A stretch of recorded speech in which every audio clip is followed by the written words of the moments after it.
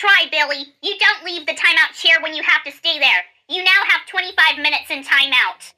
You can't catch 40 minutes. Ha ha! 45 minutes. Stop running away.